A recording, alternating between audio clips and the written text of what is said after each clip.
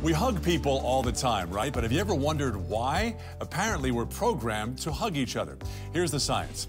Hugging makes us feel connected to others. When we hug someone, it releases oxytocin, also known as the cuddle hormone. That's what makes you feel warm inside. Psychologists also say that oxytocin promotes feelings of devotion, trust, and bonding. And the oxytocin we get from a hug becomes even more valuable as we age. The loneliness that can come as people get older increases stress and takes a toll on our overall health. But hugging has been proven to directly fight feelings of loneliness. We also hug to feel safe.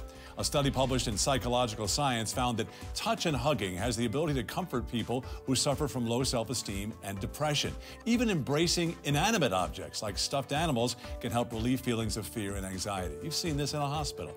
Finally, we hug to stay healthy. Oxytocin has also been shown to decrease the risk of heart disease.